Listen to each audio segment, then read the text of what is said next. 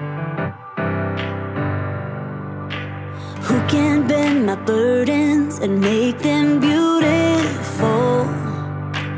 Who can bring the healing to the hurt I hold? Who else could part the waters when I'm needed away? Though I'm walking through